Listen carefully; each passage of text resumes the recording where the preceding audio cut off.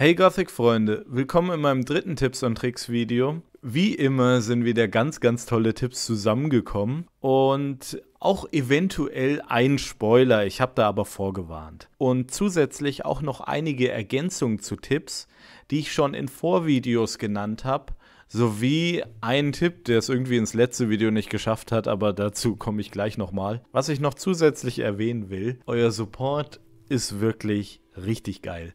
Also wie viele Leute eigentlich immer einschalten, meine Videos durchliken, kommentieren, mir auch noch Tipps geben und zusätzlich noch in mein Let's Play einschalten von Gothic 2. Das ist richtig, richtig cool. Also da freut es mich auch jeden Tag eine neue Folge aufzunehmen und was hochzuladen. Wenn ihr da interessiert seid, könnt ihr da gern auch noch mal reinschauen. Ansonsten habe ich noch einen Twitch-Kanal, da könnt ihr auch gern mal reingucken. Aber jetzt zum Tipps und Tricks Video. Ihr kennt mich, direkt zu Anfang kommen die wichtigen Tipps, die ich entweder bisher vergessen habe oder in diesem Fall lässt das Tal. Dieser Tipp, den hatte ich mal aufgenommen, hat man aber einfach nicht ins zweite Video gepackt. Super toll, oder? Also jetzt nochmal für euch lässt das Tal direkt zu Anfang. Ihr seht hier Xardas Turm und hier die zwei Wasserfälle und der See und dann könnt ihr hier einmal runterlaufen und hier geht es eine Höhle rein und da geht es zu Lesters Tal. Ich mache den mal im Schnelldurchlauf durch.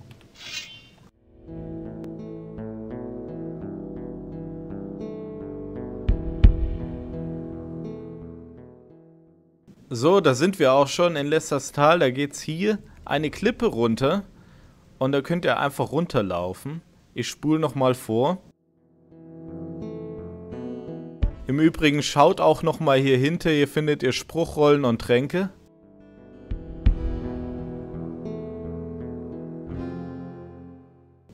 Und wie ihr seht, hier unten sitzt dann Lester. Mit ihm könnt ihr einmal reden und ihn auch davon berichten, dass ihr bereits mit Xardas gesprochen habt. Und wie ihr schon seht, sind hier allerlei Viecher in der Umgebung, wie Wölfe, Ratten. Aber ah, das sind schwache Wölfe und schwache Ratten. Die könnt ihr alle besiegen und weiter hinten, wenn ihr in die Richtung lauft, findet ihr noch eine Höhle. Die könnt ihr auch noch ausplündern. Da sind ein paar Pflanzen drin, die könnte dann für die Kräuterquest wichtig sein und und und. Und jetzt noch eine wichtige Sache. Lester ist zwar gerade weggerannt, aber wenn ihr ihn ansprecht und ihn nach einer Möglichkeit fragt, in die Stadt zu kommen, dann sagt er euch, ihr könnt euch als Lehrling des Alchemisten in der Stadt ausgeben und müsst dann zehn Pflanzen der gleichen Art sammeln. Deswegen auch gerade der Tipp, die Pflanzen mitzunehmen. Wenn ihr dann zum Beispiel zehn Heilpflanzen dabei habt und den Stadttorwachen zeigt, dann kommt ihr einfach so in die Stadt, egal wie abgerissen ihr aussieht. Noch ein Tipp, wenn ihr die Bauernkleidung schon tragt, bevor ihr mit Kanta sprecht, könnt ihr die Erpresserquest von ihm überspringen. Nochmal danke für den Tipp an die Zuschauer von mir, die haben den mir gegeben. Die meisten machen es ja so, wenn ihr das erste Mal zum Bauernhof kommt, dann bittet euch Hilda, die Frau von Lobert, irgendwann eine Pfanne zu holen vom Händler und das ist Kanter. Und dann gibt sie euch das Gold, wenn ihr danach fragt und dann könnt ihr die Pfanne von ihm holen.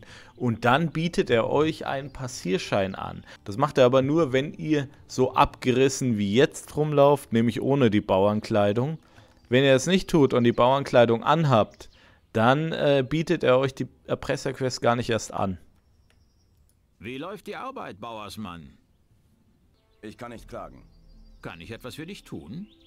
Ja, und ihr seht hier gar nichts. Also weder was von einem Passierschein noch irgendwas von einem Gefallen. Das Ding ist allerdings, wenn ihr ihn dann in der Stadt trefft, dann bittet er euch um einen Gefallen. Und ihr steht nicht mehr in seiner Schuld. In Bezug aufs letzte Video, also dem zweiten Teil, muss ich noch was hinzufügen, denn ich habe von meinen Zuschauern etwas gesagt bekommen, was ich zuvor noch gar nicht wusste. Und das ist sehr, sehr wichtig für euch. Ich habe gesagt, dass Konstantino äh, Stärketränke braut. Das ist soweit richtig, nur dass man nicht unbedingt Lehrling bei ihm sein muss. Ich bin jetzt in diesem Durchlauf Lehrling bei Harald, dem Schmied. Und jetzt spreche ich einmal mit Ignaz und lasse mir von ihm die Kunst der Alchemie beibringen. Ja, und dann reicht es einfach eine Essenz der Heilung zu lernen. So, nochmal als Beweis hier kann ich meine geschmiedeten Waffen verkaufen. Also ich bin tatsächlich bei Harad in der Lehre. Ja, und wenn ihr jetzt Konstantino ansprecht, dann könnt ihr ihn fragen, dass ihr auf der Suche nach neuen Rezepturen für Tränke seid. Er fragt euch dann natürlich, ob ihr Erfahrung in der Alchemie habt. Und das habt ihr natürlich, weil ihr eben die Essenz der Heilung bei Ignaz gelernt habt. Und dann könnt ihr ihn fragen, welche Rezepturen er einem beibringen kann. Ja, und da haben wir schon das Elixier der Stärke. Also heißt im Umkehrschluss, ihr könnt auch bei Harald oder Bosba in die Lehre gehen. Braucht ihr nur eine Alchemiekenntnis, also einen Trank, den man da braucht. Und äh, dann bringt euch Konstantino schon das Elixier der Stärke bei. Und das geht ab Kapitel 1. Das ist ganz, ganz wichtig. Also könnt ihr schon ab Kapitel 1 die Stärketränke brauen. Ich würde euch aber empfehlen, Stärketränke allgemein erst ab 90 Stärke oder 120 Stärke zu trinken. Kann man halten, wie man will. Ab 90 Stärke kostet ein Stärkepunkt 4 Lernpunkte, ab 120 Stärke ein Stärkepunkt 5 Lernpunkte. Für den nächsten Tipp müsst ihr bei Harald unbedingt in der Lehre sein. Ich habe ja schon im letzten Tipps und Tricks Video, also Teil 2, davon erzählt, dass man bei Harald äh, Waffen verkaufen kann. Und dafür hat man ja immer Karl im Hafenviertel verprügelt, das war ein Schmied da. Und äh, dann halt mit dem Rohstahl Waffen hergestellt und bei Harald verkauft. Das habe ich jetzt auch nochmal gemacht. Ich habe jetzt mal edle Schwerter hergestellt. Nun gibt es jedoch einen weiteren Trick. Allerdings, ich sage euch gleich vorweg, ich bin kein Fan von solchen Tricks, weil das eher in Richtung Spielefehler ausnutzen geht. Jedoch ist es mal schön zu wissen, was überhaupt alles noch in Gothic möglich ist, deswegen zeige ich euch das. Und viele haben es auch in die Kommentare geschrieben. Nämlich, man kann ein Schwert jetzt ausrüsten, dann zu Harad gehen. Ihr seht immer noch, ein Schwert ist ausgerüstet, eins im Inventar, selbst hergestellt. Hey, da bist du ja wieder. Und dann verkauft man ihm die geschmiedeten Waffen. Ich will meine geschmiedeten Waffen verkaufen. Gut. Gib her. So, und hier hast du deinen Lohn. So, jetzt schauen wir ins Inventar und haben immer noch die zwei Schwerter. Können wieder eins ausrüsten. Da bist du ja. Und können wieder die Waffen verkaufen. Ich will meine geschmiedeten Waffen verkaufen. Gut. Gib her. So, und hier hast du deinen Lohn. So, und da haben wir wieder die zwei Schwerter im Inventar. Also das kann man unendlich oft wiederholen. Ich glaube, das ist ein Trick, mit dem man das meiste Geld rausholen kann in Gothic 2. Ihr braucht auch nur zwei Rohstahl dafür, um die zwei Waffen herzustellen. Und dann könnt ihr das immer wieder machen. Und deswegen bin ich da kein Fan von, weil das trübt das komplette Spielerlebnis. Also, es ist euch selbst überlassen, ob ihr das jetzt anwendet oder nicht. Ich wollte es euch nur mal zeigen und euch zeigen, was möglich ist. So, für den nächsten Tipp, ihr kennt ja alle Mo. Also jedem Anfänger, der das erste Mal Gothic spielt, der Typ geht einem auf den Sack. Ne? Man betritt das Hafenviertel, denkt sich nichts dabei und er will einfach Gold von einem. Und wenn man ihm kein Gold gibt, dann will er einen verprügeln. Super tolle Sache. Aber da gibt es ein Gegenmittel gegen diesen Mo. Klar, man kann ihn auch verprügeln. Erfahrene Gothic-Spieler, die kriegen das auch locker hin. Oder Leute, die schon ein bisschen weiter sind vom Level her. Aber für Anfänger kann das manchmal schwierig sein. So, da sprecht ihr einmal mit Mo. Und ihr kennt ja alle den Dialog mit ihm. Und macht ihn normal durch, bis er euch verprügeln will. Und wenn er dann aggressiv wird, dann sprecht er einmal mit Laris. Hey, du. Und dann steht hier, ich brauche deine Hilfe. Ich brauche deine Hilfe. Und was genau schwebt dir da vor? Und dann könnt ihr ihm tatsächlich sagen, dieser Typ da belästigt mich. Das haben wir gleich. Aufhören, sofort! Ihr solltet jedoch darauf achten, dass Mo immer noch aggressiv auf euch ist und wegrennen. Laris wird sich dann darum kümmern und von da an lässt euch Mo in Ruhe. Ja, auch eine super Sache. Zusätzlich noch, für Attila soll das auch funktionieren. Ich habe das vorhin mal ausprobiert, allerdings hat das nicht geklappt bei mir. Da kam dann keine Gesprächsoption mit, ich brauche deine Hilfe. Das ging bisher nur bei Mo.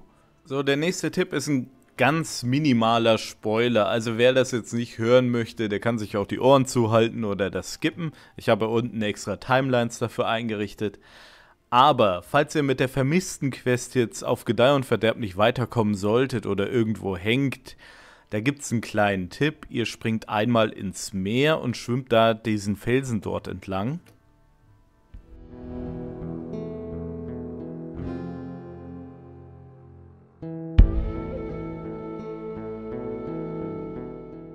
Ja, und da findet ihr diesen netten Mann. Mit dem könnt ihr einmal sprechen. Das könnte euch eventuell ein bisschen weiterhelfen. Aber in diesem Tipp soll es nicht darum gehen, sondern um eine andere Sache. Denn man kann hier noch weiter schwimmen und dort hinten befindet sich noch ein anderer Strand und das ist ganz wichtig.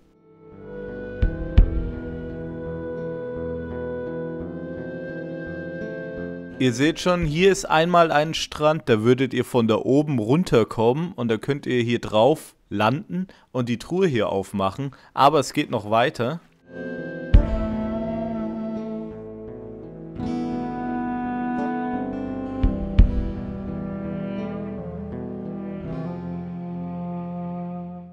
Ihr findet hier einerseits ein grobes Bastardschwert. Ich muss sagen, die Waffe ist nicht sonderlich gut, weil der Stärkewert über dem eigentlichen Schaden liegt und es gibt keinen Einhand-Talent-Bonus. Allerdings findet ihr hier noch eine Truhe und hier vorne eine Steintafel. Und diese Steintafel ist eine Steintafel der Magie, also für alle Magier interessant, weil das gibt nochmal zwei Mana extra.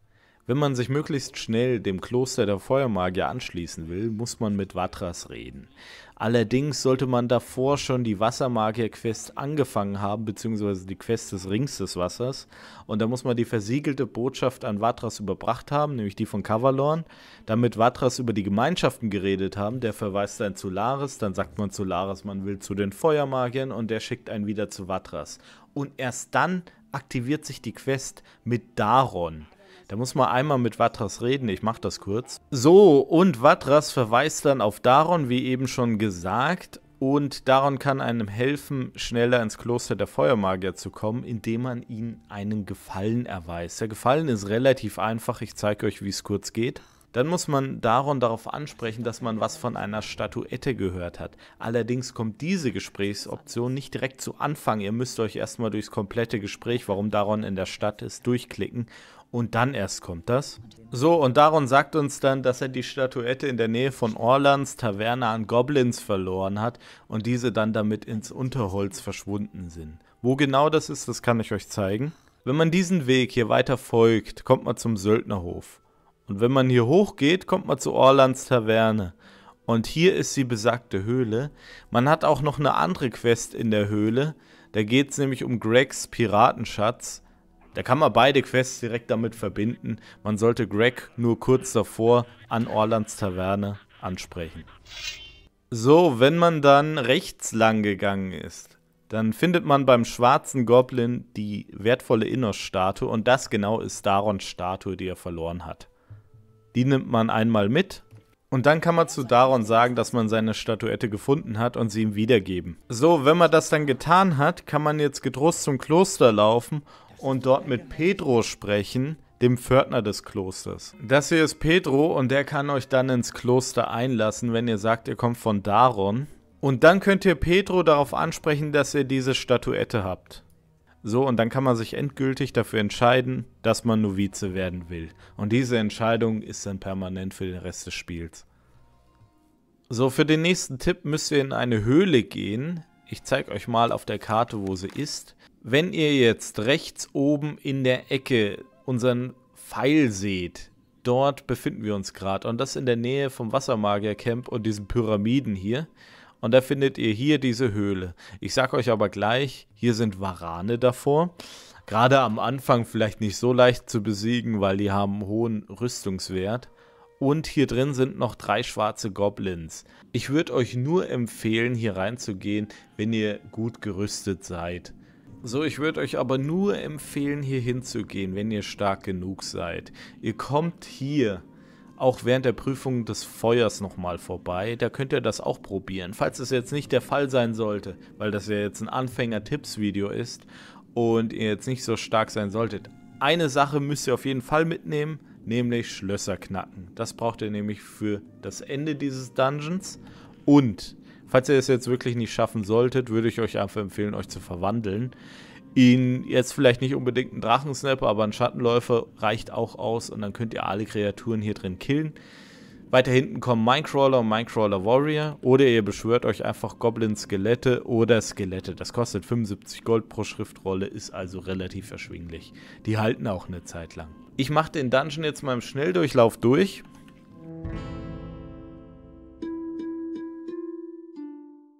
Ihr seht schon, hier sind die ersten goldenen Kelche versteckt. sowie ein Schwert, Tränke und eine Steintafel, aber auch hier diese Steinhaufen. Ich kann euch mal kurz zeigen, was sich dahinter verbirgt. Steingolems. Die sind aber noch nicht aktiv und ich zeige euch auch warum. Ihr folgt jetzt hier dem rechten Weg. Hier ist der besagte Minecrawler Warrior. Wenn ihr den besiegt habt, habt ihr hier die Schatzkammer. Hier ist eine Juwelenschatulle, normale Schatullen, silberne Schalen und und und. Ja, und am Ende des Dungeons ist in dieser Truhe ein Morgenstern, 150 Gold und ein Lederbeutel. Und in diesem Lederbeutel findet ihr was ganz Besonderes, nämlich einen Ring. Und das ist ein sehr, sehr starker Ring, nämlich der Ring der Unbesiegbarkeit. Der gibt euch 5 Schutz vor Waffen, 5 Schutz vor Pfeilen, 3 Schutz vor Feuer und 3 Schutz vor Magie. Sehr, sehr geil. Aber, sobald ihr die Truhe knackt, aktivieren sich jetzt die Golems. Der Witz dabei ist, sie brauchen ein bisschen Zeit, bis sie sich aufgebaut haben, also würde ich einfach wieder rausrennen. Ihr seht das hier, die bauen sich auf und ihr könnt einfach rausrennen. Was ich euch noch davor empfehlen würde, den kompletten Dungeon auszuräumen, damit ihr nicht die ganze Zeit in die Golems reinrennen müsst. Und dann könnt ihr die später, wenn ihr die dann irgendwann easy schafft, im dritten Kapitel oder so, einfach killen und das war's dann. Im nächsten Tipp geht es um Cypher und sein Sumpfkrautpaket, also für all jene, die Söldner werden wollen oder einfach als Gildenlose alle Quests komplettieren wollen die können das Cypher ansprechen. Und ich habe euch ja im ersten Tipps und Tricks Video gezeigt, wie ihr das Sumpfkraut-Paket bekommt. Und das könnt ihr hier Cypher geben. Allerdings würde ich das nicht gleich zu Anfang machen, sondern würde ihn erstmal fragen, was Cypher mit dem Dieb machen will und würde diese Detektivsuche beginnen. Das führt euch erst zu diesem Bauer Bodo und dann zu Da. Und dann könnt ihr Cypher sagen, dass Da dafür verantwortlich ist und ihn verprügeln lassen. Okay, da wird euch sagen, dass er das Krautpaket an einem Typen in der Stadt verhökert hat. Und das könnt ihr jetzt Cypher sagen und er wird dann ziemlich aggressiv und will da verprügeln. Ihr solltet darauf achten, da einmal zu looten, weil er hat zwölf oder meistens zehn Stängel Sumpfkraut im Inventar. Dann redet ihr nochmal mit Cypher und könnt ihn nochmal wegen des Sumpfkrauts ansprechen. Wegen des Sumpfkrauts. Hier hast du ein paar Stängel. Ach. Und direkt danach könnt ihr ihm noch sagen, dass das Krautpaket, was ihr im Inventar habt, auch noch ihm gehört oder ob es ihm gehört. Kann es sein, dass dieses Paket Sumpfkraut dir gehört? Ich werd verrückt. Und so habt ihr das Maximale aus der Questreihe rausgeholt. Cypher wird jetzt für euch stimmen, da allerdings gegen euch, aber Torloff wird euch dann auch sagen, also falls ihr jetzt Söldner werden wollt, Torloff wird euch dann sagen, ja, das Stimme zählt sowieso nicht so viel. Im zweiten Kapitel kommt ihr ins Minental und meistens fahren die meisten Leute mit dem Problem, ja, irgendwie meine Stufe ist nicht ganz so hoch, wie ich mir das gedacht habe. Und dann gibt es eine Möglichkeit des Power-Levelns. Dazu benötigt ihr aber eine Feuerregenschriftrolle, und einen Trank der Geschwindigkeit. Ganz, ganz wichtig. Die beiden Sachen. Mehr braucht ihr nicht. Wenn ihr meine Tipps und Tricks bisher befolgt habt, dann dürftet ihr sowieso schon eine Feuerregenschriftrolle im Inventar haben. Dann braucht ihr nur noch den Trank der Geschwindigkeit und den findet ihr bei Lutero. Das ist der Händler im oberen Viertel. So, dann rüstet ihr einmal den Feuerregen aus und einmal trinkt ihr den Trank der Geschwindigkeit. So, dann rennt ihr los an den Orks vorbei und ihr müsst was ganz Wichtiges machen. Ihr haltet euch hier, damit ihr in die Richtung rennen und dann hier vorbei. So, und bei diesen Orks hier geht ihr erst in die Richtung, dass die anderen Orks hinterherkommen können und die hier aggressiv werden. Dann lauft ihr einmal wie so ein S hier drumherum und dann hier rein. Das ist ganz wichtig. Und dann zieht ihr den Feuerregen durch. Lauft nochmal in alle Richtungen, solange der Feuerregen wirkt. Da hinten ist noch ein Schamane, der hat überlebt. Das sollte im Normalfall nicht der Fall sein. Normal erwischt ihr alle Orks. So, den Schamanen habe ich auch nochmal kurz erlegt. Ihr seht jetzt, ihr habt jetzt einige Orks getötet. Wirklich einige. Das ist eine gute Möglichkeit, um Power zu leveln das kann natürlich ein paar Versuche brauchen, besonders wenn man dieses S läuft, weil wenn man das nicht läuft, dann rennen einem die Orks, die hier stehen, direkt hier rein, hinterher und schlagen einen womöglich tot. Besonders da man am Anfang jetzt nicht unbedingt Ravens Rüstung, so wie ich hat, sondern wahrscheinlich die leichte Söldnerrüstung, leichte Milizrüstung oder die Novizenrobe. Und äh, ja, das ist dann nicht so geil. Allerdings, wenn man es dann geschafft hat, hat man einen ordentlichen Erfahrungsschub. Und jetzt noch zu einem anschließenden Tipp. So, dasselbe mit dem Powerleveln könnt ihr natürlich auch im Minental machen. Nämlich, wenn ihr vor der Burg steht. Da gibt es hier so eine Orkramme. Und die Orks, die kommen hier nicht hochgelaufen. Die bleiben hier kurz davor stehen. Und da könnt ihr dann wieder den Geschwindigkeitstrank ziehen. Müsst wieder den Feuerregen ausgerüstet haben. Und dann pullt ihr einmal alle Orks, die in der Nähe sind. Da gibt es einige. Hier vorne steht noch ein Elitekrieger. Hier sind noch zwei Orks. Ihr könnt richtig viele ziehen. Ihr müsst sie nur immer auf aggressiv halten. Dann schaut ihr mal, dass sie noch hinter euch sind, weil mit dem Trank der Geschwindigkeit seid ihr relativ fix. Hier sind noch ein paar Waage, die könnt ihr mitnehmen, gerade nützlich, wenn man für Boss bearbeitet. Dann die Orks hier noch. Genau, schön die Schamanen noch. Läuft hier Kreise. Schaut, dass wieder alles aggressiv bleibt. Bleibt immer kurz stehen. Lasst euch am besten nicht hitten, wie ich gerade. Und dann lauft ihr hier hoch und bleibt hier stehen. Und dann drehen die Orks komplett frei und ihr könnt einen Feuerregen durchziehen. Nur die Ork-Elite werden dabei nicht sterben. Ich kann euch mal zeigen, wie viel Leben bei denen noch bleibt. Richtig wenig. Die könnt ihr dann mit dem Bogen abschießen oder im Nahkampf noch besiegen, wenn die hier weglaufen. Das geht ganz easy.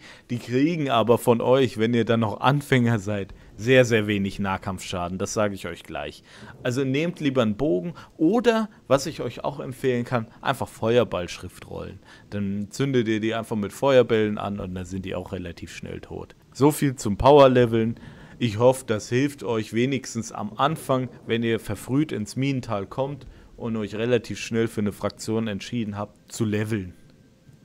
So, das war's auch schon wieder. Ich denke, das war jetzt das letzte Tipps und Tricks Video für Anfänger. Ich werde auf jeden Fall noch ein Video machen für das fünfte Kapitel von Gothic 2, wo ich nochmal drauf eingehen werde, was man so alles noch mitnehmen kann, bevor man dann ins sechste Kapitel aufbricht.